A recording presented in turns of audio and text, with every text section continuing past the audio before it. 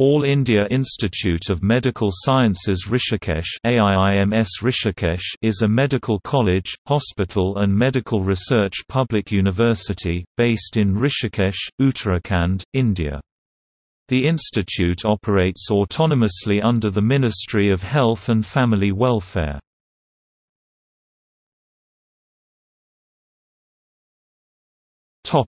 History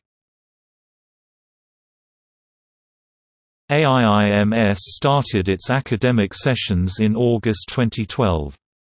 A 200-bed hospital at AIIMS Rishikesh was inaugurated by then Union Health and Family Welfare Minister Ghulam Nabi Azad on 10 February 2014.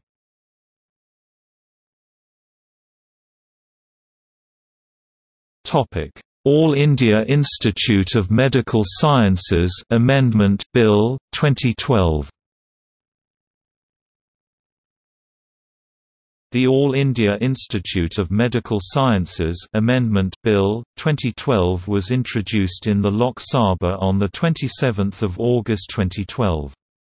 This bill also replaced a recent ordinance which allowed the six AIIMS institutes to become operational from September 2012. Lok Sabha passed the AIIMS amendment bill on 30 August 2012.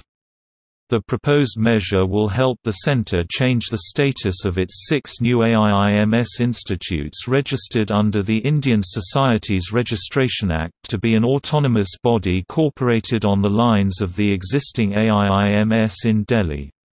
The AIIMS Amendment Bill 2012 was introduced in the Rajya Sabha on 3 September 2012.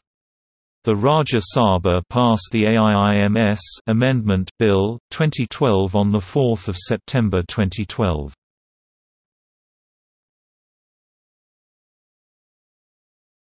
Topic: Directors. Raj Kumar 15.04 2017 to date. Topic See also All India Institute of Medical Sciences Education in India List of medical colleges in India